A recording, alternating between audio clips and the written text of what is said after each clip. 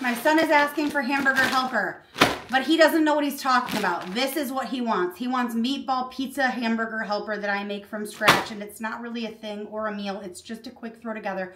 One pan bullshit. Let's do this.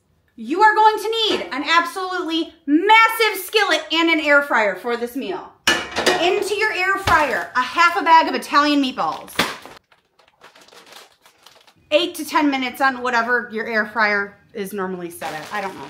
Into our skillet, a metric ton of garlic.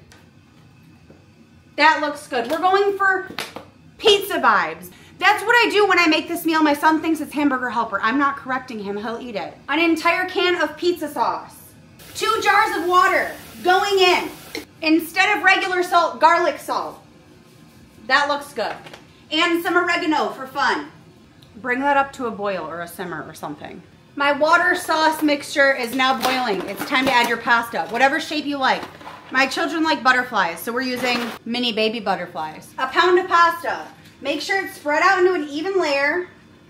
Pop a lid on this bitch until your noodles are mostly done. Mostly, not all the way.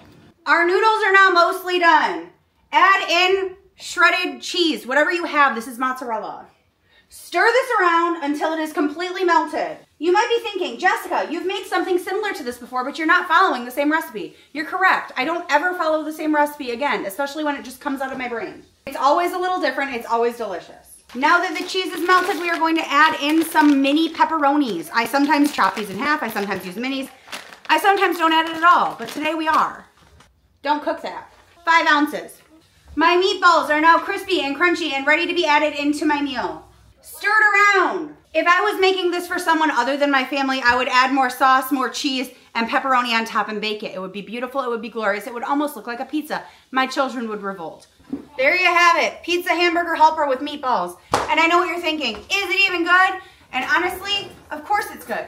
It's the most toddler-friendly meal that I make. Let's give it a try. Of course it's good. I made it. Follow along for more aggressive tutorials and make this shit. Your family will love it.